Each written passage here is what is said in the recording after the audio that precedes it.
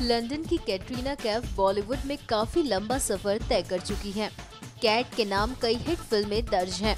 Cat ने बॉलीवुड में जो मुकाम हासिल किया है, उसी के सम्मान में लंदन की ऑक्सफोर्ड यूनिवर्सिटी ने उन्हें लेक्चर देने के लिए इनवाइट किया है फरवरी में ऑक्सफोर्ड में होने वाले एक सेमिनार में कैटरीना बॉलीवुड को रिप्रेजेंट करेंगी कैट को सेमिनार में स्टेज एंड स्क्रीन फ़ील्ड पर बोलने के लिए इनवाइट किया गया है कैटरीना के अलावा seminar Oscar award winner Hollywood actor Jeremy Irons Robin Wright और अनालय ने मैक्रोड भी हिस्सा लेंगे।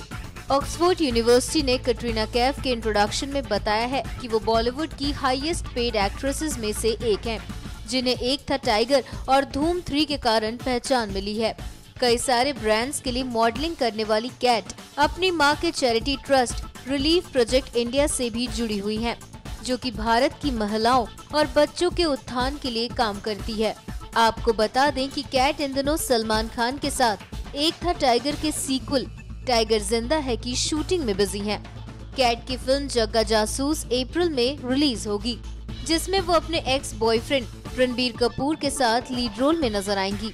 हालाँकि पिछले दो साल कैट के करियर के लिए बहुत अच्छे नहीं रहे हैं, लेकिन कैट के लिए आने वाला वक्त काफ़ी अच्छा माना जा रहा है। क्योंकि कैट पहले सलमान और फिर शाहरुख के साथ नज़र आने वाली हैं।